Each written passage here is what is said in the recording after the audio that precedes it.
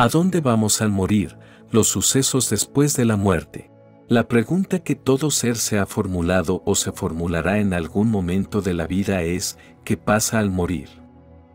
¿A dónde vamos? Amado ser de luz, en el momento de nuestra partida, debemos entregar el vehículo físico, aunque para la mente, esto es muy difícil de procesar, ya que se ha identificado con el envoltorio corporal o traje biomolecular, en el que se ha alojado. Aunque en muchas ocasiones tomamos conciencia de que todo lo que nace en algún momento debe morir, ya que es parte de una ley natural que rige en este plano. En esos momentos, comprendemos que nuestro destino es que el cuerpo proveniente de la tierra a ella vuelve cuando ha terminado nuestro tiempo aquí. Muchas películas o casos en todo el mundo nos han mostrado que en el momento del deceso, una energía se desprende del cuerpo, a la cual han llamado espíritu, aunque el espíritu no va solo, pero, ¿qué es el espíritu? A lo que llamamos espíritu, en realidad es una esencia divina cargada de conciencia, envuelta con la personalidad que se ha manifestado en esta vida amalgamada con el ser. Estas son las energías que se desprenden, y se han podido medir en muchas ocasiones documentadas por los científicos. Pero para comprenderlo mejor, tenemos que remontarnos a nuestra planificación prenatal en el plano sutil, donde nuestra alma es aconsejada por los seres de luz que se manifiestan como sus guías espirituales, sugiriendo los trazos adecuados para la evolución que le queda por experimentar. Cuando el alma ha decidido las experiencias y vivencias adecuadas, no solo para ella, sino también para el grupo álmico con el que viene creciendo en esta espiral evolutiva, se hace presente el espíritu. En ese momento, toma el aspecto corporal con el que se ha de manifestar en esta nueva vida y adquiere la personalidad, que será su característica de individualidad, para el rol que va a interpretar ante la sociedad y para que las otras almas involucradas en estos eventos reconozcan su aspecto al encarnar. Aunque todo esto no es recordado al nacer, dado que nos envuelve el velo del olvido, que es un gran regalo divino, para no recordar los traumas y experiencias desagradables que podamos haber experimentado en vidas pasadas. Todos acordamos en la planificación prenatal el momento de nuestra partida, aunque ocurren dos cosas muy interesantes. Una es que en ese momento nuestros guías nos proporcionan diferentes momentos en esta vida futura para dejar el plano terrenal. Esto es, que puede ser a una edad joven, en la mitad de nuestra vida o en el final, todo esto depende de las causas y efectos que la propia alma y su grupo álmico deban experimentar. Ya que en muchas ocasiones, las almas que parten de forma inesperada han acordado este proceso antes de nacer, para provocar un gran despertar y una evolución acelerada, en todos los aspectos de la espiral evolutiva de su grupo, comprendiendo que en la próxima vida, podrá ser parte de las experiencias que los demás tuvieron la posibilidad de experimentar.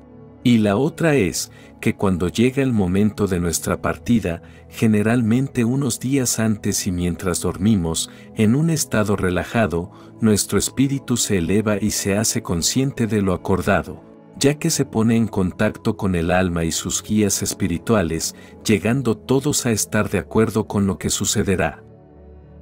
Todos, absolutamente todos, experimentamos en muchas vidas la gama completa de roles que existen.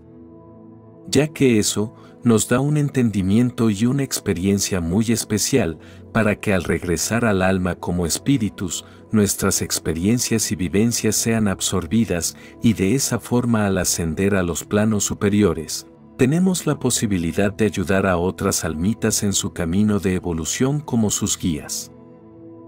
En el momento en que fallecemos, nuestro ser deja de nutrir al vehículo físico. Este envoltorio, que en el transcurso de una vida se modeló, fue tomando la forma adecuada para las vivencias y experiencias que debía llevar a cabo, cuenta con una energía divina, a la cual, en los planos superiores se la llama la vestidura sagrada. Realmente, la energía que se manifiesta y mueve a nuestro envase corporal es una vestidura sagrada. Pero, ¿qué pasa con esta vestidura energética cuando partimos?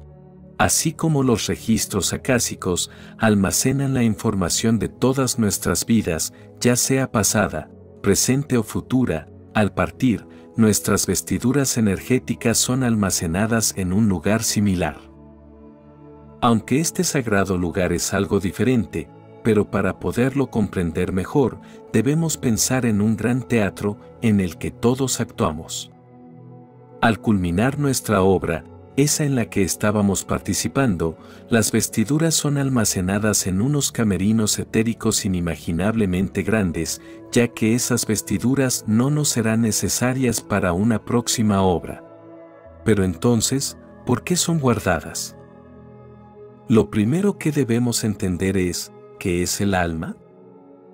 Esa chispa divina o fractal, el cual se desprendió de la fuente, Dios, o como lo quieran llamar, es una conciencia amorosa, que está cargada con la recopilación de las experiencias de muchas, muchas vidas.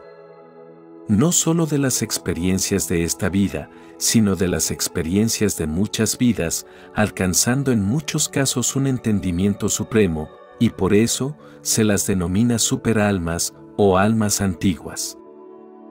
Muchos niños nacen con una gran alma, esto es, que su conciencia está muy elevada, permitiendo manifestar un lenguaje muy fluido y expresar un amor sin igual hacia todos los seres vivos, dado que ha acumulado en su alma un entendimiento muy elevado en cuanto a la conciencia, sin importar que se encuentren en una vestidura recién llegada. Entonces, al culminar nuestro papel en esta obra de teatro, la vestidura sagrada se almacena en estos camerinos etéricos del plano sutil, con el aspecto que poseía al estar manifestada en el envase corporal, para que si en algún momento es solicitada, esté disponible. Pero, ¿para qué? Esto, amada alma, es para que cuando un ser querido esté por dejar el plano terrenal, se pueda utilizar una manifestación de esos seres que interpretaron el papel de padres, abuelos, hijos, amigos, etc., acompañando y guiando su transición de regreso a nuestro verdadero hogar. Aunque también están disponibles para hacerse presentes ante un llamado de un ser encarnado, esto es, cuando los canalizadores o mediums contactan al ser amado que las personas han perdido y no lograron superar su ausencia, manifestando su presencia, en muchos casos de forma visible, para traer un mensaje de paz y amor que reconforte y ayude con el crecimiento de esa alma que lo ha solicitado. Nuestro cuerpo físico vuelve a la madre tierra de donde provino, para convertirse en parte de su esencia, integrándose a su proceso de continua vida. La vestidura sagrada, esta energía con la forma corporal, que se ha manifestado en vida, la cual es llamada o se manifiesta en alguna ocasión que sea requerida, pero manteniendo el registro de las experiencias vividas en su encarnación, queda almacenada y disponible para ayudar en este plano.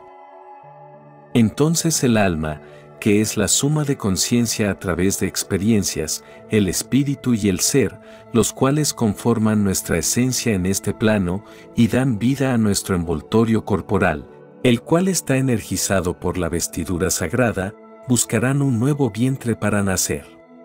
Y aunque a la mente racional le cueste procesar esta información, en el plano sutil el tiempo no existe, por lo cual es una hora continua. De modo que, el tiempo que requiera una planificación prenatal en dicho plano se puede manifestar en este plano como segundos, días o años. Entonces, en su estado de conciencia, cuando llega la partida de este plano, muchos seres han manifestado un túnel de luz blanco, pero, ¿qué dirías si te dijera que en muchas ocasiones, aunque no en todas, esta luz blanca al final del túnel no es la entrada, sino la salida a una nueva vida? Esto es, porque desde el plano sutil el alma junto a sus guías ya han considerado un nuevo vientre para el nacimiento y de esta forma continuará aprendiendo y trascendiendo los desafíos de esta maravillosa escuela a la que llamamos vida en la humanidad. El ser querido que representó el papel de padre, madre, abuelo, abuela, hermano, etc., al cual veneramos y recordamos en muchas ocasiones con tristeza, puede manifestar su vestidura en nuestro plano, pero su alma y su ser ya han trascendido a nuevas experiencias. Y tiene libertad para elegir nuevas formas de experimentar esta obra de teatro infinita, manifestando en esta nueva encarnación una nueva vestidura sagrada y por esta razón, el almacén etérico de vestiduras sagradas es inimaginablemente grande, más allá de los límites del pensamiento. Muchas personas se preguntan, ¿qué pasa con lo que acumulamos de conciencia, eso que es mi alma? Estos conocimientos, cuando el espíritu retorna al plano sutil, son absorbidos por el alma y el ser, el cual es y será por siempre el mismo. Y serán utilizados a favor de la misma alma para futuras encarnaciones, para hablarnos en nuestros sueños o guiarnos a través de la intuición, ya que es nuestro yo superior o la parte más elevada de nuestro ser, esa que permanece en contacto directo con la fuente de la creación, oh Dios. Mis palabras solo son señales para que en ti puedas encontrar tu verdad. Quienes realizamos esta labor en plena conciencia de amor, consideramos muy valioso tu like y tu suscripción, porque al realizar estas simples acciones, el contenido es reconocido por el algoritmo como interesante, y recomendado a más almitas que lo puedan necesitar. Te deseo muchas bendiciones y que encuentres la paz durante todo el camino. Mi alma saluda a tu alma,